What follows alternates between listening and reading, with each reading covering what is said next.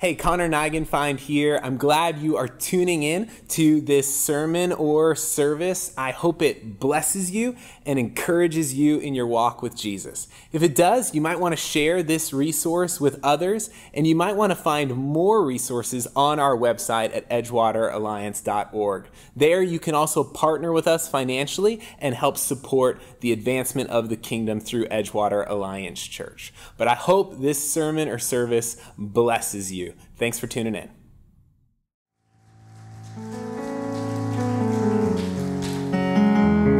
Father, I thank you that you are a God who saves, that you see us in our brokenness, in our desperate need for help.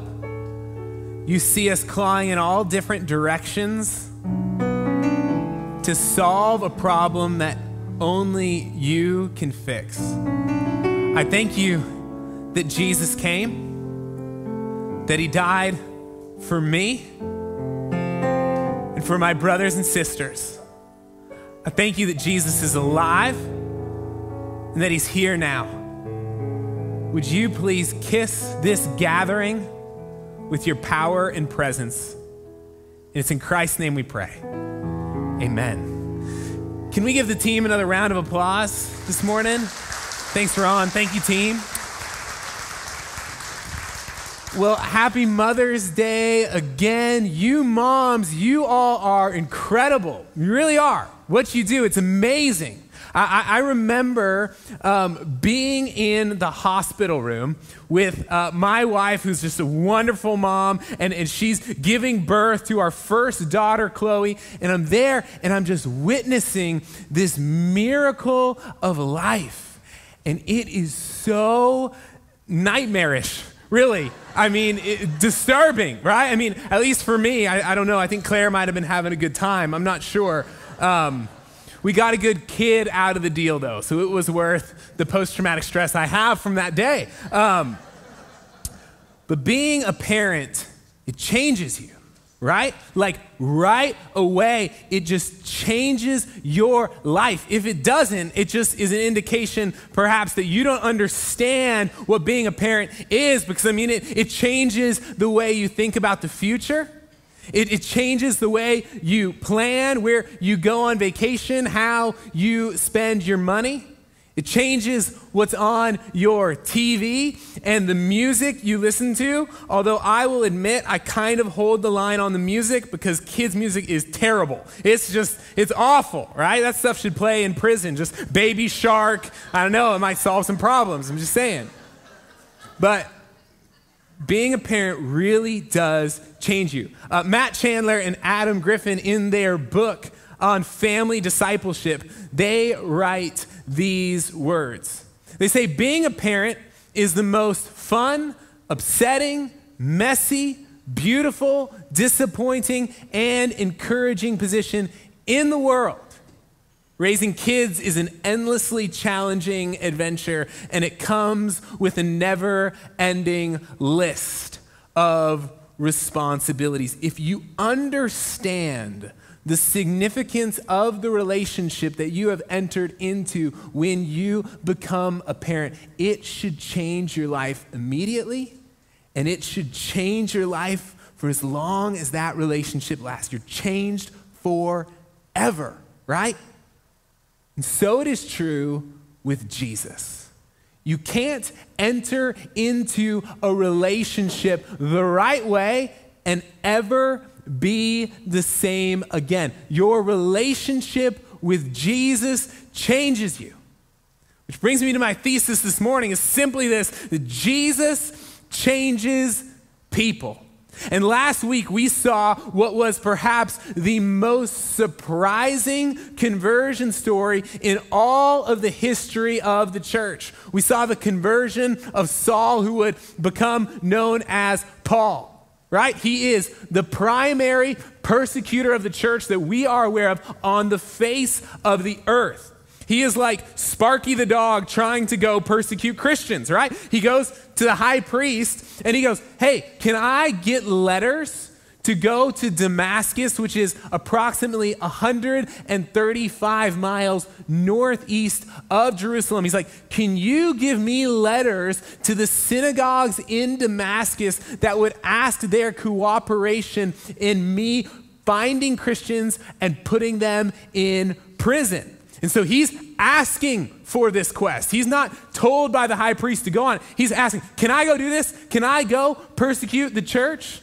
Caiaphas agrees. He sends the letters to the synagogues in Damascus. As you know, and if you missed the sermon, you can go back and listen to it. Saul is on his way to Damascus. He's nearing Damascus when Jesus encounters Saul knocks him off his horse. He's disoriented. He hears a voice from heaven saying, Saul, Saul, why are you persecuting me? To which he responds, Who are you, Lord? And it wasn't the answer he was hoping for. The Lord responds, I am Jesus, whom you are persecuting. And he is a mess.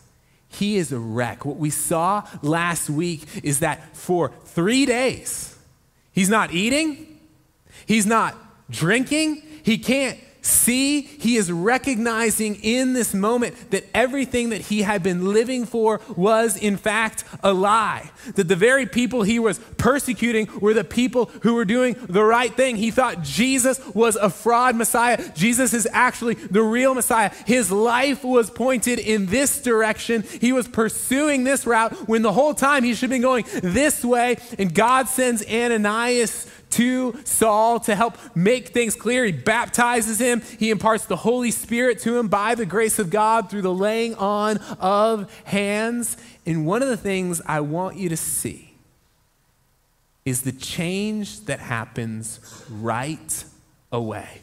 Picking up in chapter 9, verse 20, the text says this And immediately, right away, he began preaching about Jesus in the synagogue, saying, He is indeed the Son of God. All who heard him were amazed.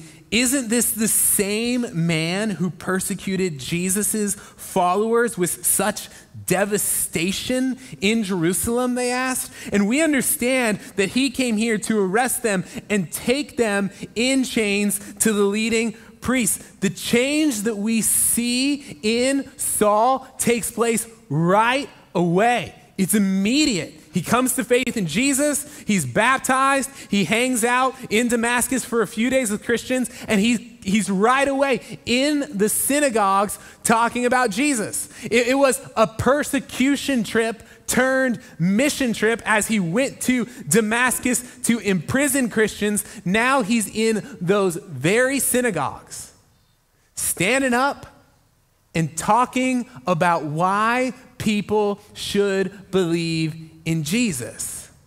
And as you can imagine, people are quite confused. People are quite disoriented because Saul had made the news. People were aware of who he was. If you remember the story with Ananias, when God was sending Ananias to Saul, he's like, oh, we've heard of him. We're, we're aware of what he is doing. And in the text this morning, we're seeing people like, isn't this the guy? Like, isn't this the guy who came here to arrest us? Is this this? Yeah, it's the guy. It's the guy. And he's talking about Jesus. And the change we see in Saul is immediate and it's drastic. What he believed at the core of who he was, it changed. What he did with his life, it changed. His identity changed drastically and immediately. It's kind of like becoming a parent. You become a parent and your life changes, happens right away. But there's more. Verse 22 Saul's preaching became more and more powerful. This is significant for us in our time today. more and more powerful. And the Jews in Damascus couldn't refute his proofs that Jesus was indeed the Messiah. Why am I highlighting these words more and more? The reason is because these are progressive words. These are words that indicate progress, that increasingly Saul's preaching became more powerful. And so there's two things that I really want you to understand this morning is that when you come to faith in Jesus, you change drastically and you change immediately, but that is not the only change that takes place. You also change progressively. So I'll illustrate this for you. Um, who is this person on the slide? Maybe you know who that is. Who is that? You can talk to me. Tom Brady, right? Tom Brady, in the offseason of last year, he was the quarterback of the New England Patriots, and then he signed a contract with the Tampa Bay Buccaneers. And his identity as a pro football quarterback changed. He changed from being the quarterback of the New England Patriots and really the face of that franchise to becoming the quarterback of the Tampa Bay Buccaneers and the face of that franchise. And when did that happen? It happened the moment he signed the contract. Changed teams, got a new jersey, has a new identity. There's so much change that took place in that moment when he signed the contract. But he didn't have the Buccaneers playbook memorized. He probably hadn't met all of his teammates or the people in the front office. He, he, he didn't know what it meant practically and functionally, day in and day out, to be the leader of this team because it's going to be different. And so there was a progressive element to Tom becoming the quarterback that his identity already said he was. Are you following that? So in Christianity, when we come to faith in Jesus, the theological term is justification. It is a legal term and it indicates that you are in right standing with God. That when you place your faith in Jesus, you get a new jersey, you switch teams, your identity changes. And what's awesome is, is that God the Father sees you positionally through the lens of the perfect blood of Jesus, and he sees you as righteous, flawless, holy, and justified. Positionally, if you're here today and you're in Jesus and you're in Christ, that's how God the Father sees you. And that's awesome, right? Practically and functionally. Are you perfect? Are you flawless? Are you holy? You got stuff, right? You got issues. So do I. You're like, Connor, we know. We're, we're clear on that. We're a work in progress. And what I love in, in Paul's journey is he writes about this and he's very clear on this. And he says in, in a letter years later, writing to the church in Philippi, he's reflecting on his own journey. And he says this, chapter 3, verse 12 of Philippians. He says, I don't mean to say that I have already achieved these things or that I have already reached perfection, but I keep working toward that day when I will finally be all that Christ Jesus saved me for and wants me to be. No, dear brothers and sisters, I am, I am still not all I should be, but I am focusing all my energies on this one thing, forgetting the past and looking forward to what lies ahead. He's saying, I'm not perfect. I, I, I don't have it all figured out. But one thing I'm doing, I'm putting all my energy in trying to live up to the identity that I have been given by the grace of God. And that's all of us. That's all of our journey, right? I was, um, speaking, my mother in law's in town, and she was speaking with me between services, and she goes, I have this picture of you giving Chloe a bath. She said this to me between services. And, and it was actually a funny moment because I'm a dad. I, I love this child. I would die for this child. And I'm giving Chloe her first bath, and I have like no idea what I'm doing. I, I am washing her so softly that I'm like barely getting dirt off because I'm worried I'm to break her. Have you been there? Like, this is delicate. I don't, I don't know what I'm doing. So I was this kid's dad, loved her. My identity changed. I'm her father. But I have had a lot of growth since that day she was born, and I'm going to continue by the grace of God to grow in what it means to be a dad and what it means to be a parent. And that is an illustration for the Christian walk, right? That you've been given an identity in Jesus. You are a son or a daughter of God the Father, and it is your privilege and your joy to continue to grow in that identity that you have until He calls you home. And one of the cool things that we see in the life of Paul is because most of the book of Acts now is really going to follow his missionary journey and his ministry and what we see in his life in the scriptures, both in regards to personal holiness and in regards to ministry effectiveness is we see a trajectory pointing upwards and onwards. And the question I have is can the same be true? Can the same be said of you? Is it true of you that the trajectory of your life is growth in Christ, of you living more fully, stepping more fully into the identity that you have already been given by the grace of Jesus? And we see that in, in Paul's story. And so, uh, really, really, in the very next verse, it's interesting because he has to face the uh, consequences of switching teams. In verse 23 of Acts, it says, After a while, the Jewish leaders decided to kill him. So it's the hunter now becomes the hunted, and people want Paul dead.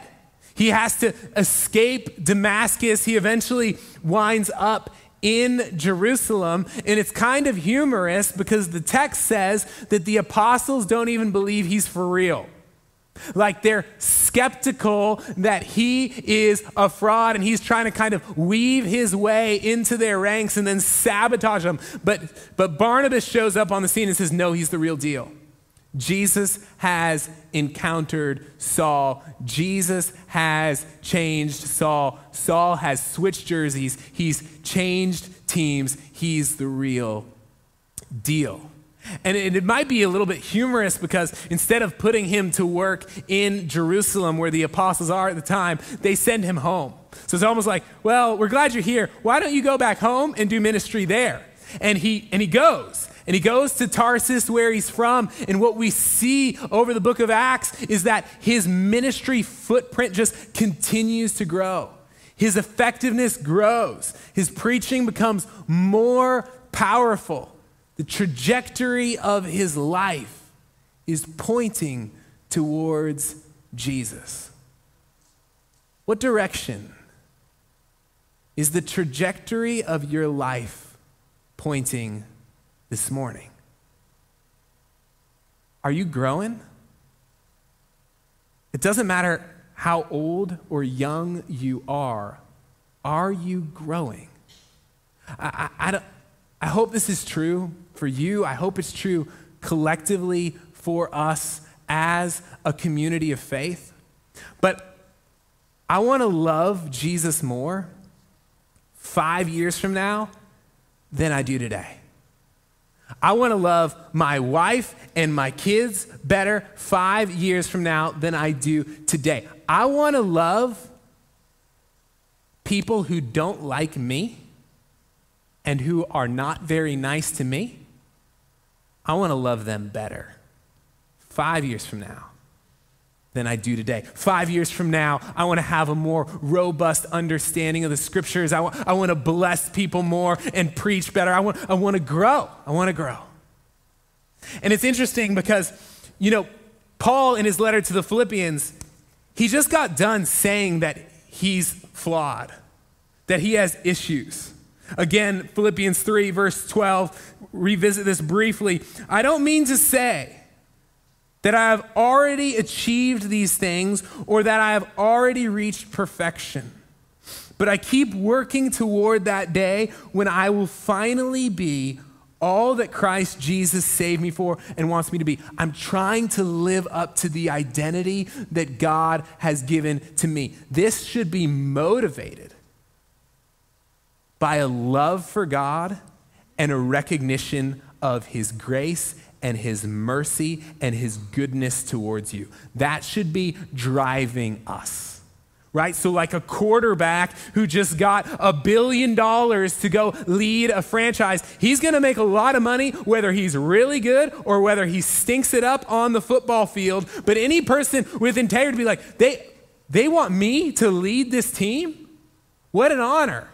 They're going to pay me how much to lead this team? That's awesome. I'm going to go out there and play my best. That example pales in comparison to what you've received in Jesus, what you've been given as your identity, not as some leader of a football team, but as a son or a daughter of the king.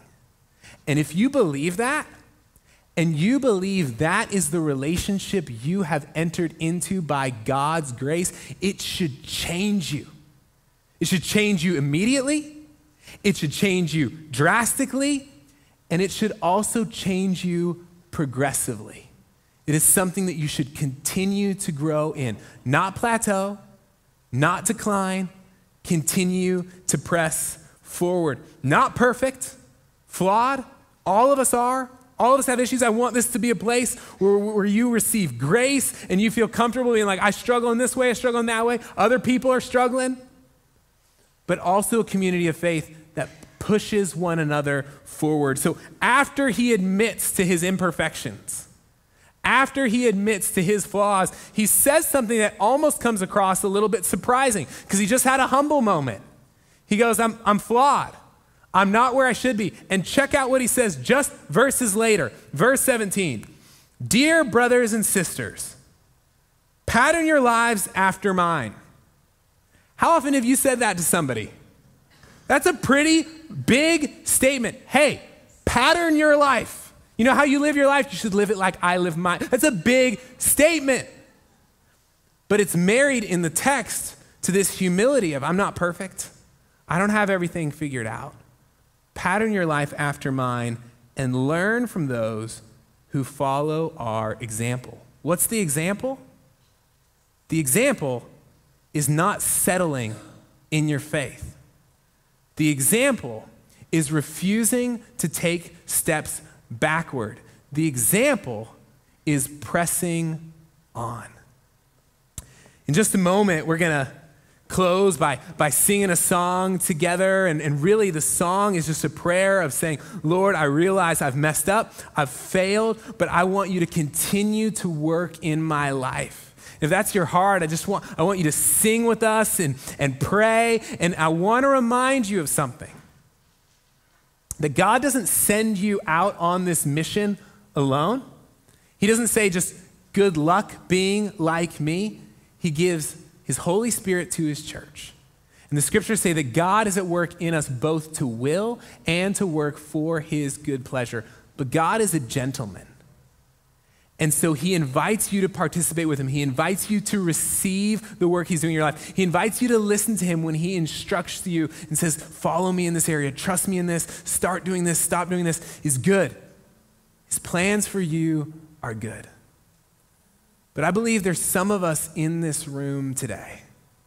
If we're being honest, and I'm not here to judge you, I want to love you, your faith isn't growing. It's plateaued. You look at your life and you're like, I don't know if I'm any closer to Jesus than I was five years ago. Jesus wants that to change.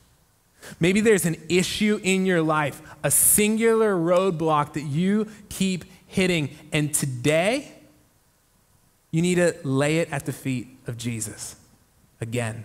Say, Lord, do what only you can do. I'm ready to respond. I'm ready to grow. At this time, I want to invite you to stand as we worship together.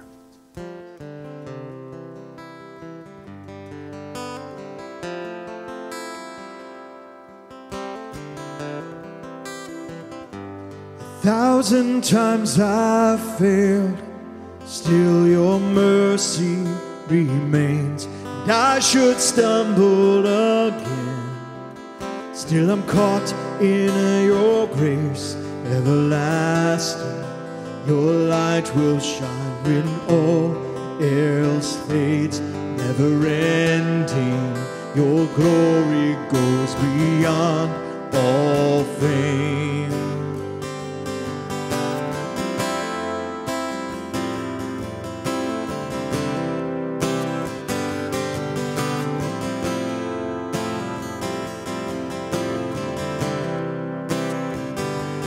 Will above all else, my purpose remains. The art of losing myself, bringing you praise everlasting.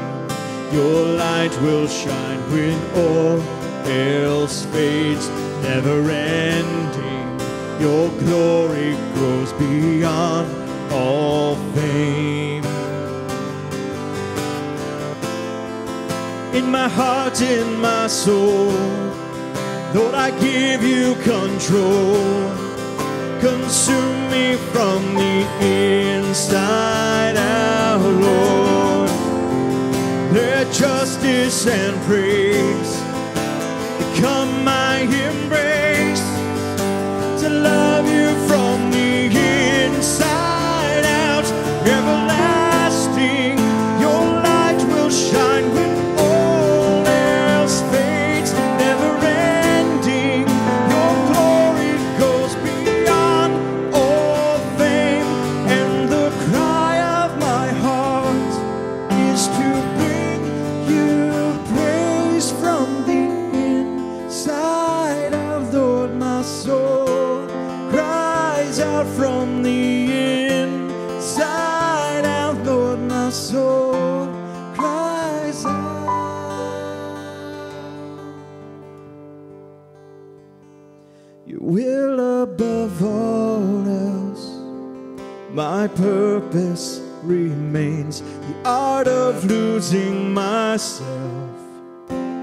bringing you praise everlasting.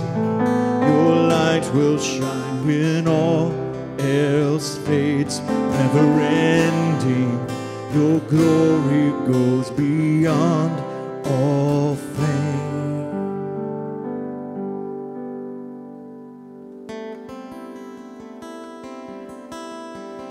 Now, Lord, we just give the rest of this wonderful day to you. We thank you that you are a God who changes us from the inside out, motivated, Lord, by your great love and your grace for us.